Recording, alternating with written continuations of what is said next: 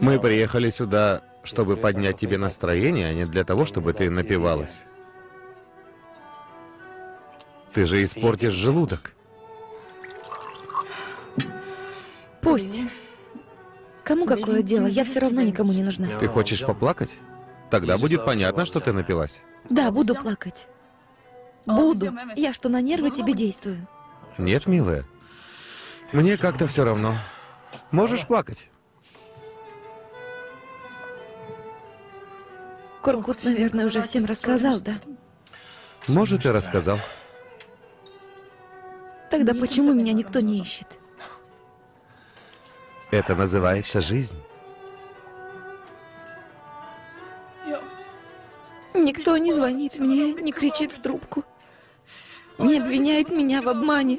Никто не задает мне много вопросов. Хорошо, тогда я задам. Неужели тебе не было стыдно? Не было. Почему не было? Я хотела иметь свою семью. Я мечтала, чтобы у меня была мама, и чтобы она гладила меня по волосам.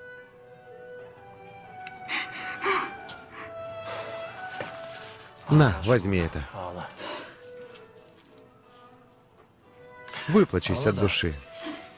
Послушай, ну как можно плакать из-за этого?